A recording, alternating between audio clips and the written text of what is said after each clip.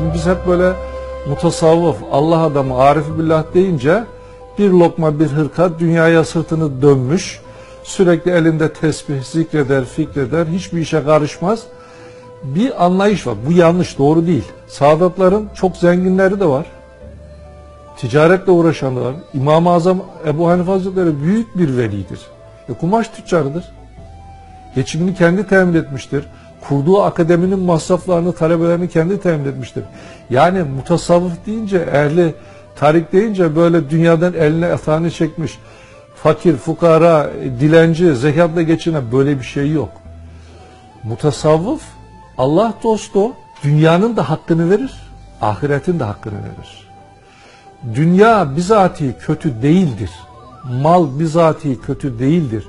Eğer mal, makam, nefsin hevasına hizmet ediyorsa, onu azdırıyorsa ve nefsi Allah'a düşman etme hususunda ona lojistik temin ediyorsa o dünya melundur, kötüdür.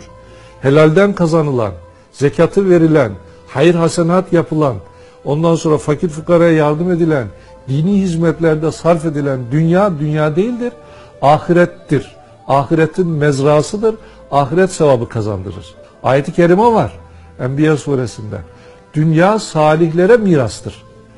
Ha mesele nedir? Dünya ile hukukunu tanzim ederken dünyayı kalbine koymayacaksın. Yoksa dünya bizatihi kendisi Esma-i İlahiye'nin tecelliyatına aynadır, mazhardır. Allah'ı tanıtır bize Celle Celaluhu. Dünya ahiretin tarlasıdır. Dünya, ahiret burada kazanılır. Zekat verenle vermeyen bir olur mu?